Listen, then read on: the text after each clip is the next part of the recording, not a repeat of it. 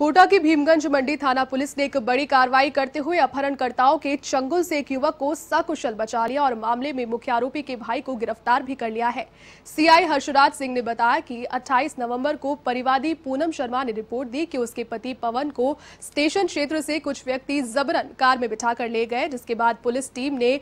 गठन करके आरोपियों की तलाश शुरू की और दौसा पुलिस की मदद से मेहंदीपुर हाईवे से पवन को छुड़ा लिया। इसी के साथ मुख्य आरोपी केशव सैनी के भाई भानु सैनी को गिरफ़्तार किया गया और अन्य सभी आरोपियों की फ़िलहाल तलाश की जा रही है।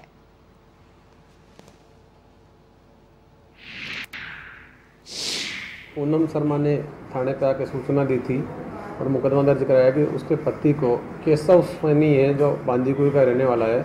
वह उसके साथी पाँच छः अन्य व्यक्ति आए और स्टेशन एरिया से उसके पति पवन शर्मा को जबरन कार में बिठा करके ले गए।